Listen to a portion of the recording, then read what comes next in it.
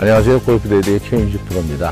성원이가 이제 풀스윙을 배웠는데 오늘은 스윙 궤도, 스윙 plane과 또 클럽의 원리 어떻게 우리가 몸에서 꼬인 힘을 클럽에 전달하는지 방법과 코킹에 대해서 알아보도록 하겠습니다. 스윙 plane을 배우기 전에 먼저 클럽의 원리를 이해하고 클럽의 힘을 어떻게 우리 몸에서 꼬인 coiling의 힘을 어떻게 클럽에 전달하는지 그 방법에 대해서 우선 간단히 알아보겠습니다. 우리가 클럽을 이렇게 오른손으로 잡고 손목만 이렇게 올려서 내리면 클럽을 이렇게 똑바로 잡은 상태에서 내려주면 클럽 헤드 끝으로 힘이 다 갑니다. 근데 우리가 이걸 이렇게 엎어져 엎어놓고 이렇게 치면 손으로 힘이 다 오거든요. 그 얘기는 다시 말해서 백스윙 top에서 백스윙 top에서 우리가 내려올 때 hand가 먼저 손이 먼저 내려오면 자 코킹이 먼저 이렇게 풀리게 되는 릴리스가 먼저 되면 엎어져서 내려오기 때문에 클럽 헤드에 힘이 전달이 안 되죠.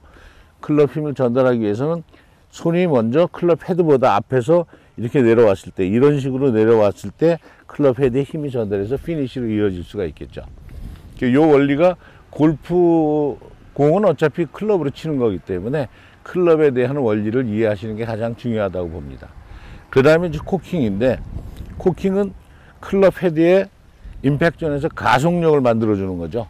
그러니까 왼팔이 지렛대 레버의 원리를 해주면 지렛대의 원리에서 클럽 손이 풀리면서 이렇게 헤드가 빨리 가속이 붙어서 비거리를 내주는 건데 그 오늘은 코킹과 스윙 plane에 대해서 성원이 한번 얘기를 해보도록 하겠습니다. 코킹을 느낄 수 있는 방법은 자 우리가 어드레스 자세에서 어드레스 자세에서 클럽을 땅에 대, 지면에 대고 그대로 이렇게 손목을 꺾었을 때 그리고 턴을 해서 잡아줬을 때 이게 코킹의 모양인데요. 그 코킹을 자연스럽게 느낄 수 있는 방법은 클럽을 좌우로 흔들면서 좌우로 흔들면서 이렇게 한번 잡아보는 겁니다. 이랬을 때 자연스럽게 헤드 무게를 느끼면서 코킹이 되고 릴리스가 되고 코킹이 되고 릴리스 되고 이거는 본인이 코킹의 방법을 느끼는 방법 중에 가장 좋은 방법이 될 것 같습니다. 저 스윙 plane은 이제 여러 가지 종류가 있는데요.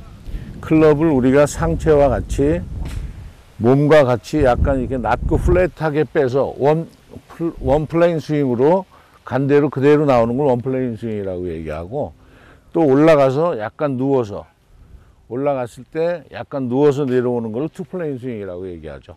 여러 프로들이 그런 그런 종류가 많습니다. 리 트레비노, 리 트레비노 같은 경우는 이렇게 팔자 스윙 바깥으로 빼서 안으로 들어오면서 치는 요즘에 리디아 고도 그런 스윙을 좀 많이 하죠. 다 백스윙 top에서 transition 될 때 약간 헤드가 뒤쪽으로 내려오는 그런 스윙을 하고 또 프레디 커플스나 이런 분들을 보면 클럽을 많이 이렇게 들었다가 내려오는 내려와서 치는 이런 스윙도 보여주고 또 그 one plane 스윙은 클럽이 지나간 자리로 백스윙한 자리로 클럽이 내려오는 건데 그 대표적인 예가 맷 쿠차 같은 경우는 그렇게 하죠.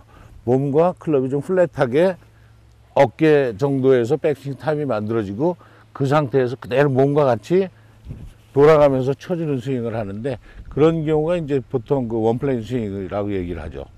그래서 one plane 스윙과 two plane 스윙은 자기가 어떤 스타일로 백스윙을 좀 높이 upright하게 들면 two plane 스윙이 되겠죠. 올라가서 다시 끌고 내려와 줘야 되니까 two plane 스윙이 될 거고 좀 낮게 flat하게 가면 one plane 스윙이라고 얘기를 합니다.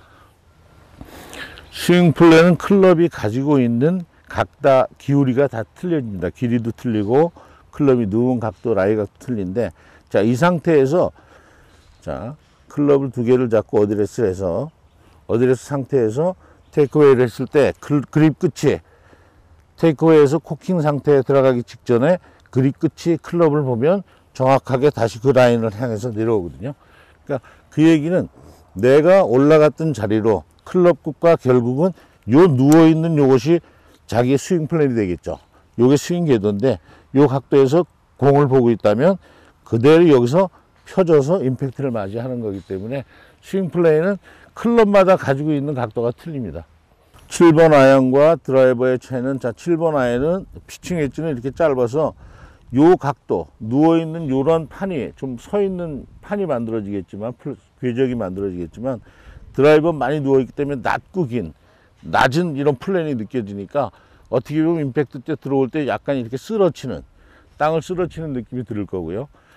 피칭 웨지 같은 경우는 이게 짧으니까 이 상태에서 이렇게 많이 세워져서 위에서 내려오면서 눌러치는 느낌이 듭니다. 그것이 바로 스윙 플랜의 기본 정리입니다. 그립의 모양은 자 검지 손가락 두 번째 마디와 새끼 손가락 요 손과 손바닥이 만나는 손가락과 손바닥이 만나는 지점을 통과하는데 아마 새끼 손가락이 한 1cm 지점 요 공간이 될 것 같아요. 자, 두 번째 마디와 요저 요 요런 식으로 클럽을 대고 하나 둘 셋 이렇게 해서 쥐면 이 클럽 손이 맞잡은 게 아니고 이렇게 층이 지게 손가락이 층이 지게 이렇게 잡아 주셔야 되고 또 중요한 거는 이렇게 잡았을 때 엄지손가락 끝이 엄지손가락 끝을 이런 식으로 붙여주는 거죠. 이렇게 떠 있으면 나중에 백스윙 탑에 가서 백스윙 탑에 가서 클럽이 여기에 이렇게 이렇게 벌어져 있을 때 이게 흔들리면서 반사작용으로 엎어치는 작용이 나오거든요. 그래서 자 클럽 끝은 항상 이런 식으로 끝을 붙여줘야 끝을 붙여주면 이런 모양이 나오겠죠. 그럼 백스윙 탑에서 왼손 엄지손가락에 클럽이 얹히는 느낌이 들 겁니다.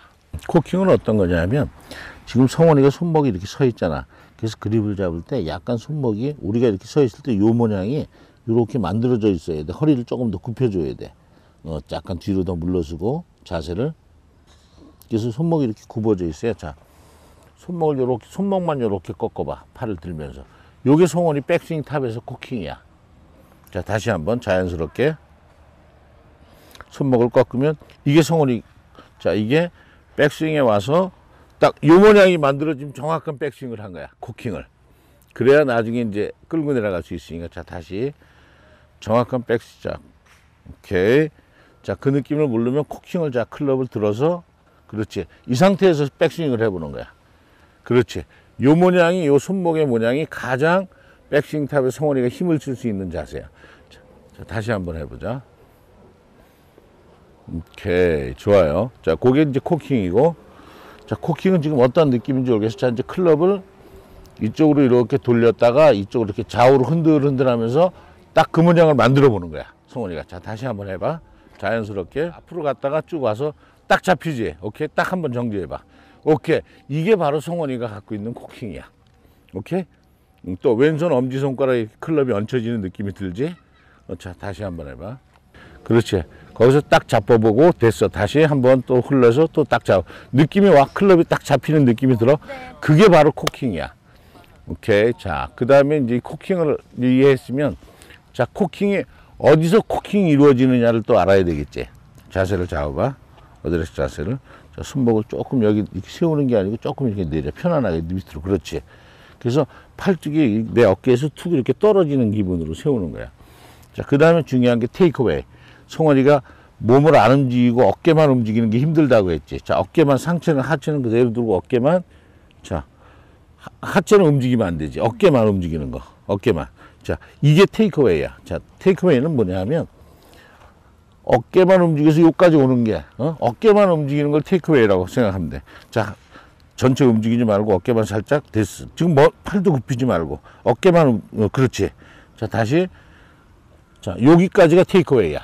여기 굉장히 중요한 작업이고 여기서 조금 더 들어가면 팔을 굽히지 말고 자, 조금 더 손목만 살짝 자, 클럽을 여기서 클럽을 살짝 이렇게 들어주는 느낌. 그렇지? 자, 땅에서 여기가 살짝 이렇게 들어주는 느낌.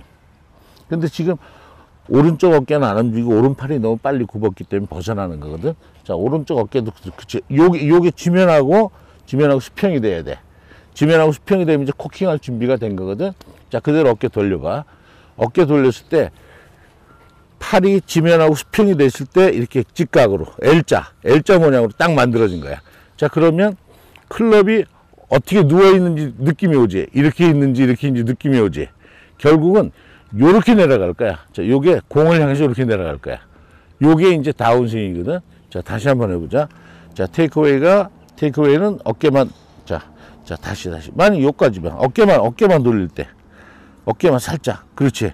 자, 요게, 요게 테이크어웨이 시작이야. 요때 체중이 오른발에 걸려 있어야 돼. 다 테이크어웨이 한번 해보자. 어깨만 올릴 때. 자, 그 다음에 조금 더 이렇게 들어주면 여기에 지면하고 수평이 됐지. 여기서부터 스윙이 시작되는 거지, 본격적으로. 자, 그대로 어깨를 돌려주면, 자, 팔이 지면하고 수평이 됐을 때 딱 L자가 만들어졌지, 90도. 자, 여기서 이제 오른쪽 어깨가 더 돌아도, 돌아도 되고, 오케이. 자, 거기서 피니시. 그렇지, 그렇지, 좋아요. 자, 그런데 여기서 성원이가 지금 아빠가 이제 성원이 스윙을 보면서 느낀 게 뭐냐면 성원이가 백스윙은 잘했어요. 근데 피니시를 갈 때 오른쪽 어깨가 상체가 너무 빨리 가. 골프는 어떤 운동이냐면 삼각형이 꼬, 꼬는 운동이라고 했잖아. 백스윙 때는 상체가 꼬으면 반대로 다운스윙 때 하체가 먼저 이렇게 가는 거야. 자, 난 여기서 하체를 움직이니까 어깨가 딸려가지.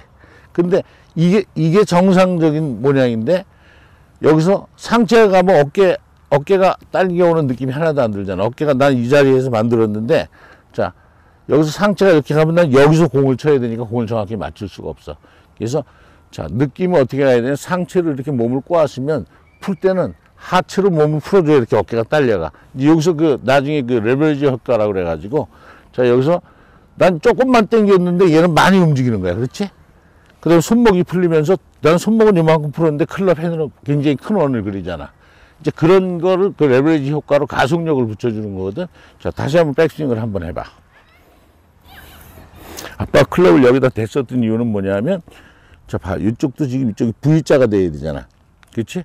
이게 약간 이렇게, 이렇게 들어가 있어야 되는데, 그렇지? 이쪽이 나와 있잖아. 아까, 자, 이, 이럴 때 뭐냐 하면, 자, 성환아, 이렇게 팔을, 오른팔을 이쪽으로 벌려봐. 자, 이걸 놓고, 자, 왼손을 여기다 갖다 맞춰봐봐. 그렇지. 이렇게 다시, 다시. 자, 어깨를 쭉 돌려야 거기 가서 맞지? 그럼 이쪽이 튀어나오지가 않아요. 여기, 여기가 이 고관절이 자 다리와 골반이 만나는 점이 이렇게 접혀져야 되는데 이렇게 휘어나면 힘이 일로 빠지는 거야. 그래서 그걸 느끼기 위해서는 자 이쪽에 팔을 놓고 같이 이렇게 돌아가고 그렇지. 자 그러면 힘도 느껴지고 자 어깨를 완전히 턴하고 그렇지. 그게 되지. 오케이 딱 손이 만나줘야지. 어, 그 느낌으로 도는 거야. 자 다시 한번 하자고.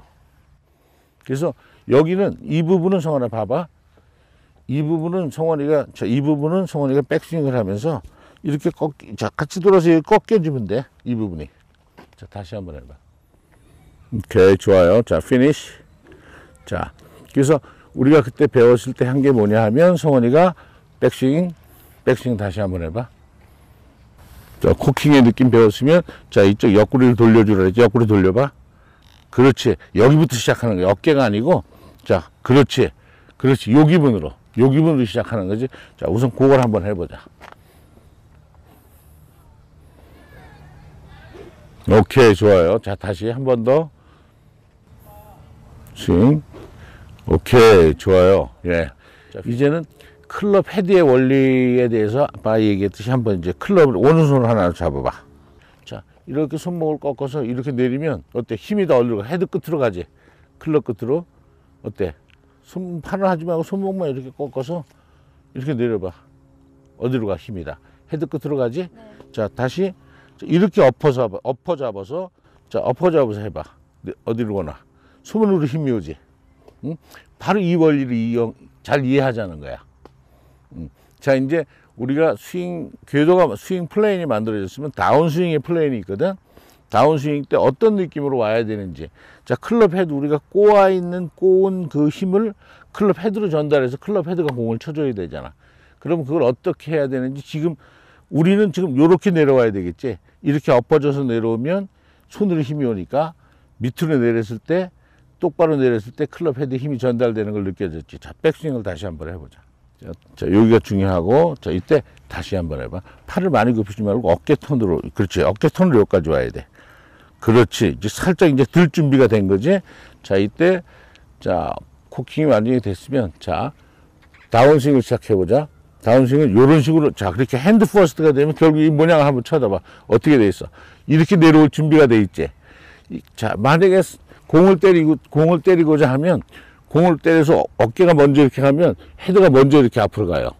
이럴 경우는 이렇게 내려오면 어떻게 힘이 전혀 헤드 끝으로 안 가고 손으로 오겠지. 손이 아픈 거야. 자 다시 한번 연습 좀 해보자. 자 그 생각하고. 자 왼쪽 손등으로 손등이 다운스윙을 시작하는 거야 칼날. 그렇지, 그렇지. 그렇게 해주면, 아, 멋있어요. 다시 한번 해봐. 응? 자, 클럽 헤드를 내렸을 때 아까 어떤 힘이 갔지? 그렇지, 그렇지. 좋아요. 아주 좋아요. 그것이 정확한 지금 헤드의 힘을 전달.